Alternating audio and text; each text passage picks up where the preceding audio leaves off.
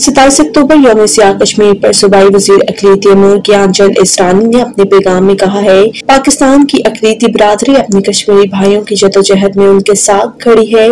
भारत और मोदी सरकार कश्मीरी भाइयों को उनके हक खुदरादियत से हटा नहीं सकती। मकबूजा कश्मीर पर काबज। भारतीय अफवाज के जारी मुजालिम पर आदमी बरादरी को अपनी आँखों से पट्टी उतारनी चाहिए, सूबाई वज़ीर ने मजीद कहा है। की मोदी सरकार बड़ी जमहूरियत के नाम पर दुनिया की आँखों में धूल झोंक रही है। मोदी सरकार ने मकबूजा कश्मीर समेत पूरे भारत में अकलीती बरादरी को निशाना पर रखा हुआ है और जब से मोदी भारत में इकतदार में आए हैं, कश्मीरी भाइयों पर मजालिम में शिद्दत आ गई है। ज्ञान चंद इसराइल ने मजीद कहा है कि पाकिस्तान की अकलीतें आम बरादरी से पुरजोर मुतालबा करती है की भारत को रोका जाए।